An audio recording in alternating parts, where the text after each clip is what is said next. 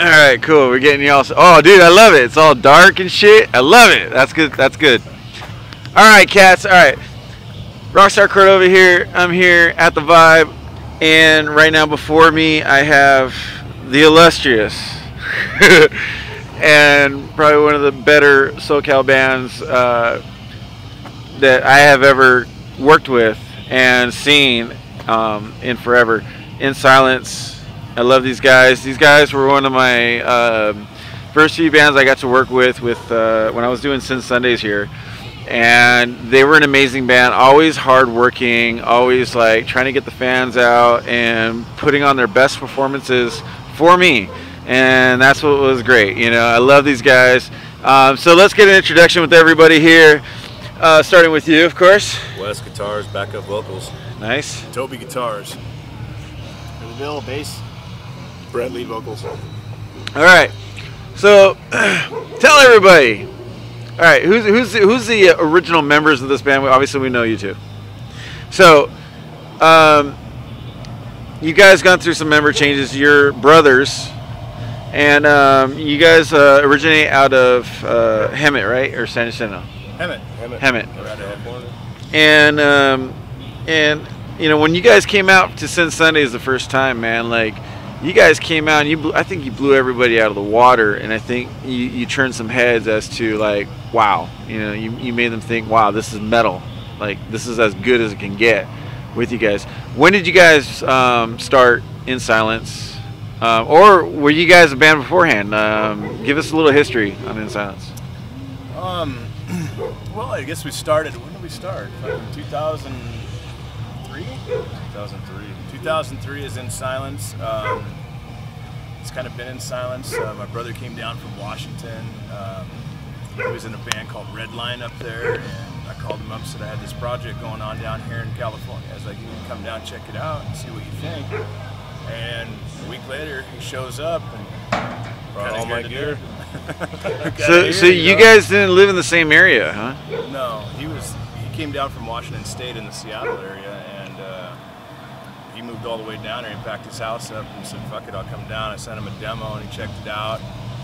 He was like, "Yeah, it's something I'm interested in." So he So- came down.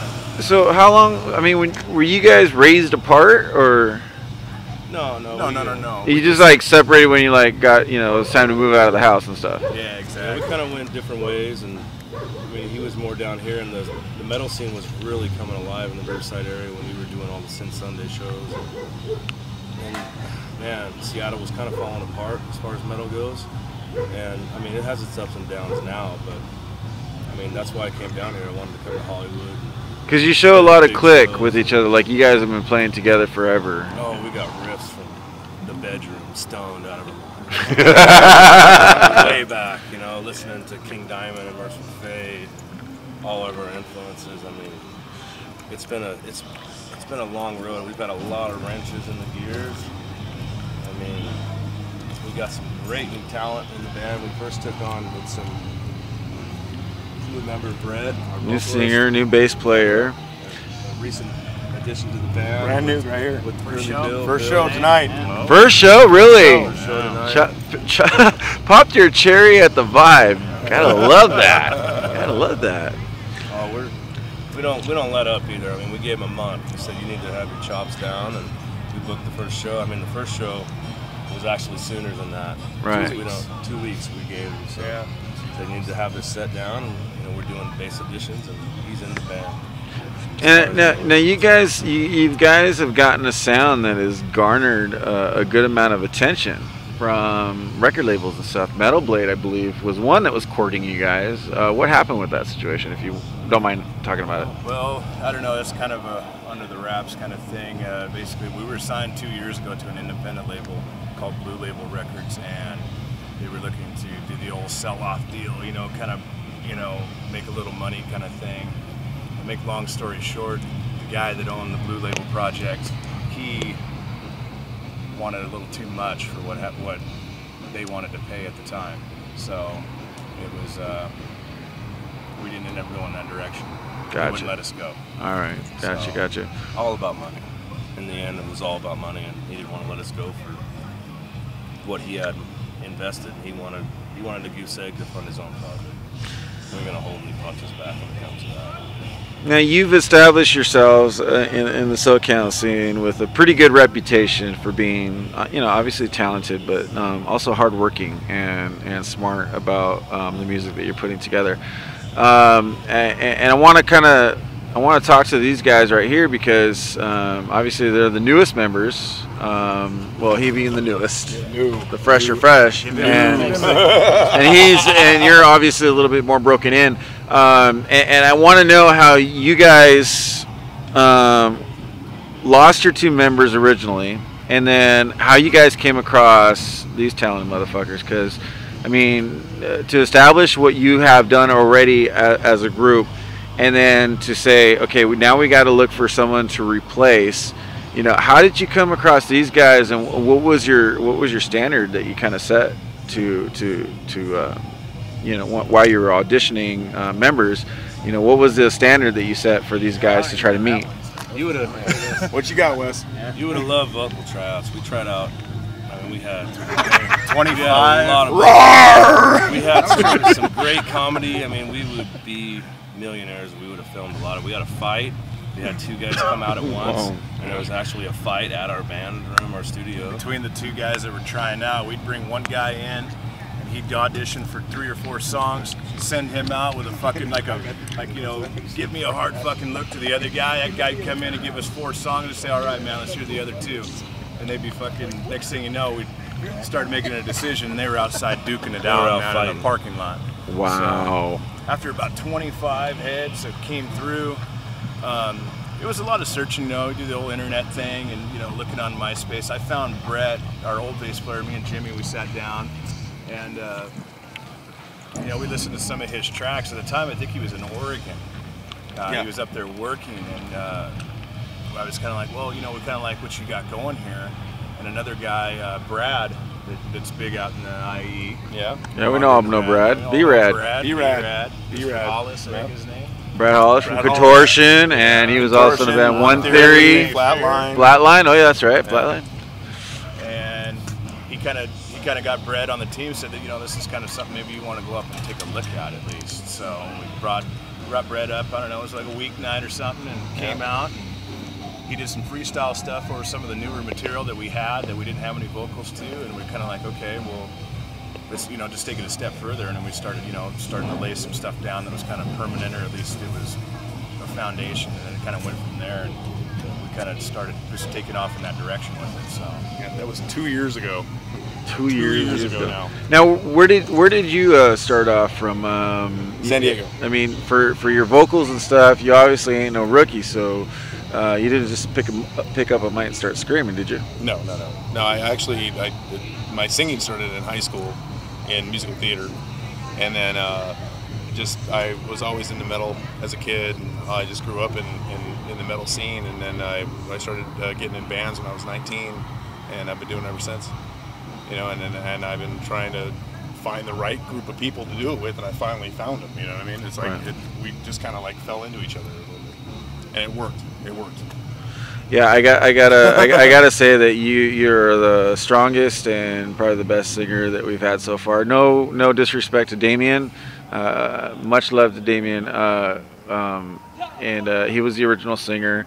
Uh, he he had his part, but like you fill out your part very well, and um, I, you definitely are as much of in silence as the brothers are here. So, uh, what about you, I was sir? For, I was waiting for the story. sir, I was waiting. I was waiting for the story? No, no, no, I'm- the story. Let's tell him a story. you want a Well, I got, a, I, got, I got a call from uh, Wes over here, and he said, "Hey, you still play? You still a musician?"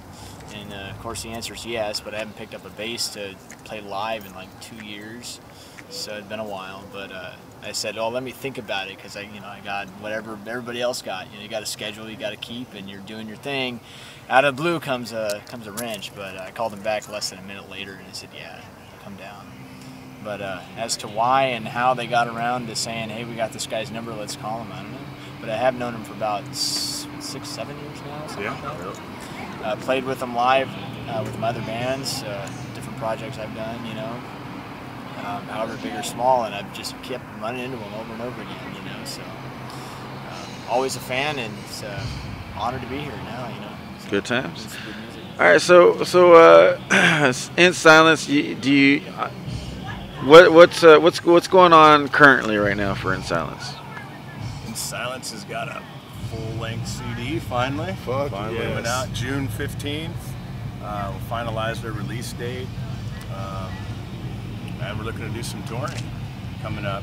Uh, nothing set in stone, but uh, we're out there looking for you know some of the bands, some of the bigger stuff to jump onto. Um, and that's about all we can really say about that at this point. Yeah, we're on Downpour Records. We ended up signing Indie again with another great independent label. Maybe ask him. You know, in silence.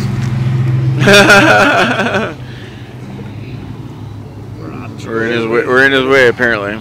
Uh, we did a full-length CD. I mean, we had a great time in the studio. We worked with the production manager, Larry Boland.